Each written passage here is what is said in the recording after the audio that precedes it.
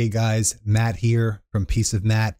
And uh, I thought this was kind of funny. I stumbled on this news article uh, this morning, and I'm sure you've heard of this Chipotle burrito hack uh, that's been going around TikTok and Instagram and on YouTube, where essentially on the app, you would um, purchase a taco instead of a burrito. And when you purchase a taco, you can get all of the things that go in the taco on the side. And Chipotle only has one size side container. So basically, it's more than what would actually go on the taco. So what people would do is they would order all of the, the toppings on the side.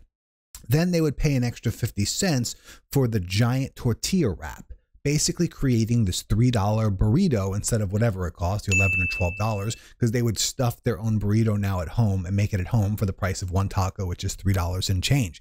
And it's funny, uh, this now came to an end. Uh, we found this news article Chipotle blocks $3 burrito menu hack after complaints from employees.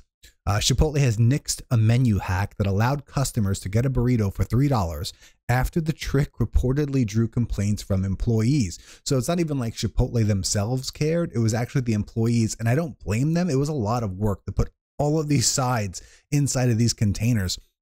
Uh, it says here the hack, which went viral on TikTok and other social media platforms, revealed customers could order a single taco through Chipotle's online system with all available free toppings on the side. By combining the ingredients with a plain tortilla, customers can create a burrito that would otherwise cost much more than $3. Chipotle executives learned of the hack and informed store managers this week that the ability to order a single taco online would be taken down until further notice, according to an email obtained by Insider.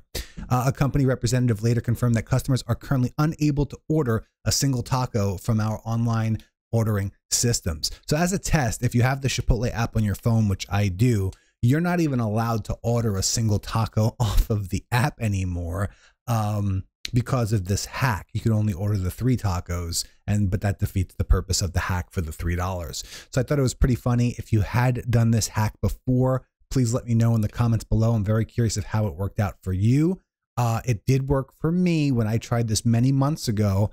Um, and I was so embarrassed walking into that Chipotle picking out the bag because of how much work I realized probably went into that, where they had to stuff every container and seal it with a different topping when there's a line out the door. I wouldn't be too happy as well. So, thought this was pretty funny. Uh, let me know uh, if you hacked it before. If you did, give this video a like and uh, let me know what you think.